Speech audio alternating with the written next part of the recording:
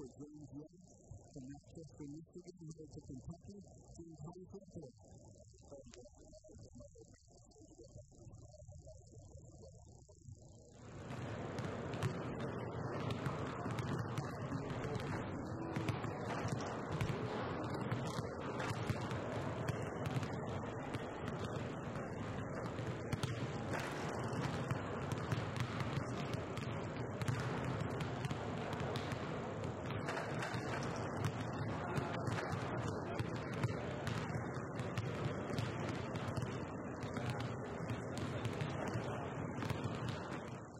so address of the period of uh, Kentucky practices and fluid at the end of the election.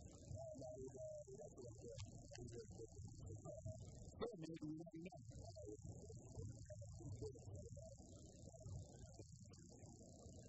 Recognize um, you know, going up against um, some of the future teams who are really looking forward to practicing.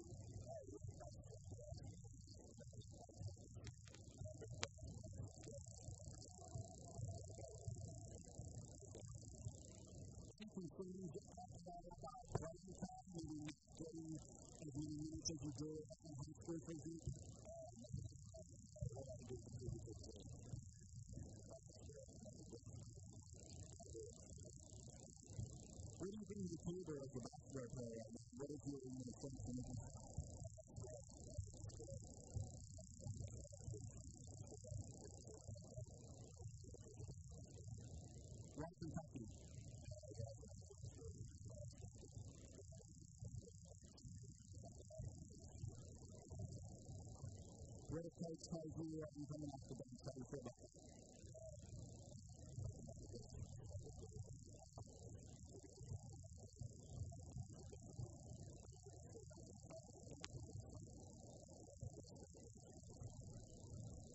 you guys do you think we're going to get for?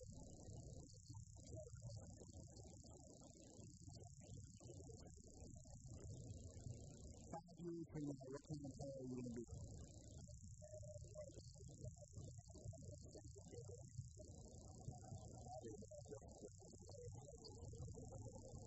Did we call that a detention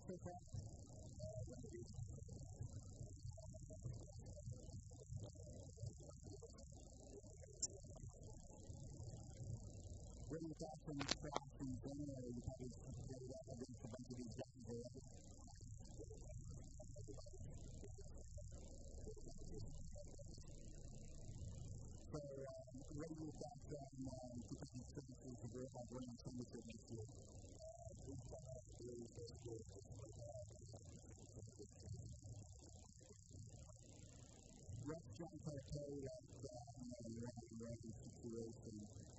Nice guy, very nice.